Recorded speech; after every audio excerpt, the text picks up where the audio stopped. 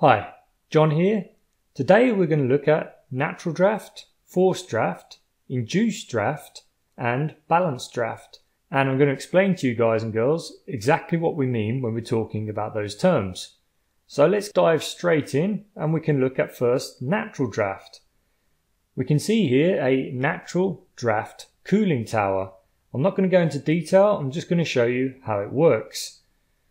What's going to happen inside this cooling tower is the air is going to pass in through the lower sections here and then it's going to pass through a heat exchanger which is this black area and then it's going to pass up through the tower.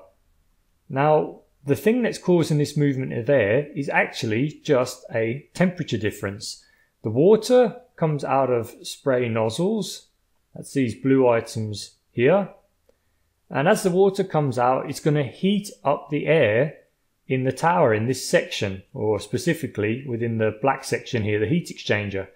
As the air gets hotter, its density is going to decrease. That means it's going to rise up above the ambient air, which is cooler. So because the air is less dense, it is now going to rise up and out of the tower. And as it rises up and out of the tower, it's going to draw cooler air in through the base and this process continues and continues. And that we refer to as natural draft. It's actually what we refer to as the stack effect.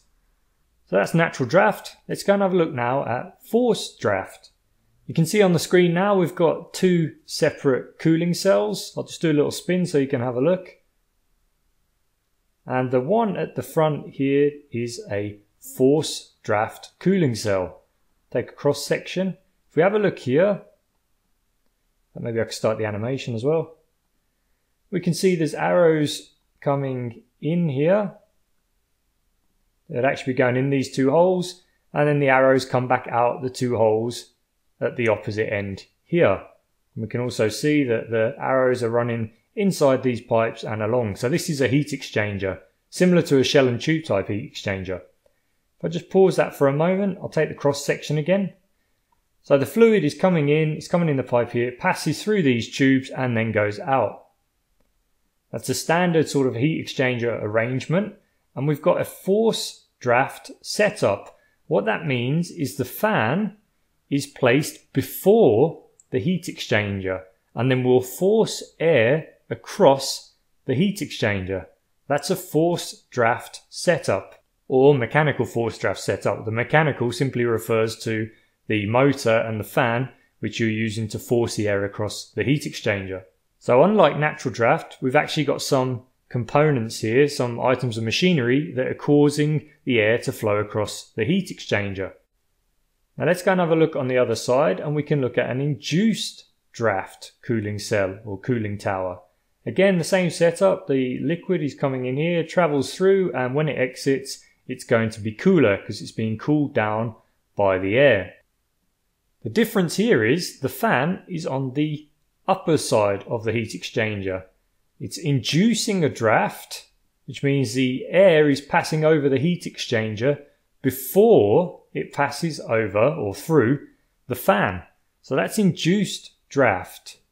An induced draft means we're passing over the heat exchanger first and then across the fan. Now, it might not always be a heat exchanger, it might be something else, such as a boiler. So maybe we're using a fan, we call this a primary air fan, to push air into the boiler and we'll use that air for combustion. And then maybe we'll use an induced draft fan, typically called an ID fan, and then we'll draw the exhaust gases out of the boiler. So different applications for forced and induced draft fans. And that brings us on now to our final type of draft, and that is balanced draft. Balanced draft simply means that you're supplying air into a space, let's imagine a boiler, and you're drawing the same volume of air back out again on the opposite side. So we can see on the diagram here there's a fan or a primary fan supplying air to a boiler for combustion. Now we don't want the exhaust gas hanging around inside the boiler because you can't burn the oxygen twice. The oxygen's been depleted, that's why it's exhaust gas. So we need to get rid of that exhaust gas as quickly as possible. In order to do that, we use what's called an ID fan or induced draft fan, and we'll suck the exhaust gas out of the boiler.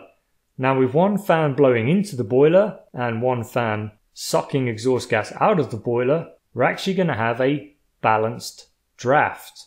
Sometimes they'll call this suction firing. And that is the four main types of draft that you're going to come into contact with. So natural draft, forced draft, induced draft, and balanced draft. Hope you find that informative and interesting. If you've got any questions or comments, please let me know. Thanks very much for your time.